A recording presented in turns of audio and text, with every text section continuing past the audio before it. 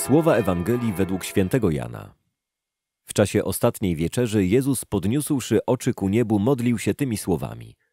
Ojcze Święty, zachowaj ich w Twoim imieniu, które mi dałeś, aby tak jak my stanowili jedno. Dopóki z nimi byłem, zachowywałem ich w Twoim imieniu, które mi dałeś i ustrzegłem ich, a nikt z nich nie zginął, z wyjątkiem Syna Zatracenia, aby się spełniło Pismo.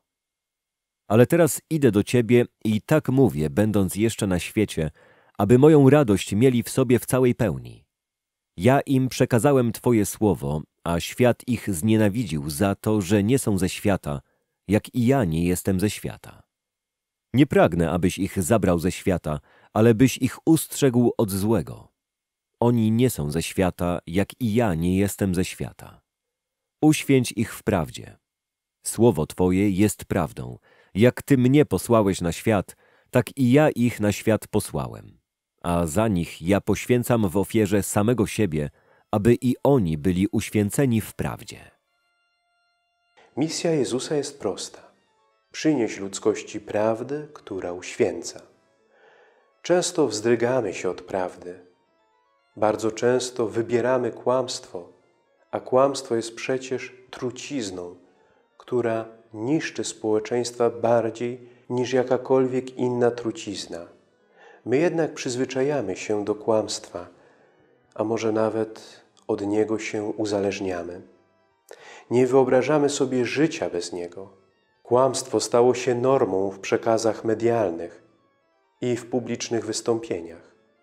Nawet jeśli jest oczywiste, machamy ręką, lekceważymy jego śmiertelne skutki. Świat dzisiejszy cierpi na deficyt prawdy. Jezus mówi, ja poświęciłem w ofierze swoje życie, aby i oni byli uświęceni w prawdzie. Chrystus był gotów zapłacić najwyższą cenę za prawdę i ją zapłacił. Podobnie później uczynią Jego apostołowie. Oddadzą swoje życie za prawdę, w którą uwierzyli, za prawdę, którą na świat przyniósł Chrystus. Słowo Boże jest prawdą. Mało tego, jest prawdą, która posiada moc uświęcania człowieka. Kto chodzi i żyje w blasku Bożego Słowa, nigdy nie potknie się ani nie upadnie. Słowo Boże ma moc oczyszczania ludzkich serc z brudu kłamstwa, z brudu grzechu. Jest jak skalpel dobrego lekarza, który wycina z naszego wnętrza komórki nowotworowe. Zechciejmy często i systematycznie sięgać po Pismo Święte, Słowo życia. To jedyne skuteczne remedium na fałsz i zakłamanie świata. Stawajmy zawsze w prawdzie, a prawda nas wyzwoli i uświęci.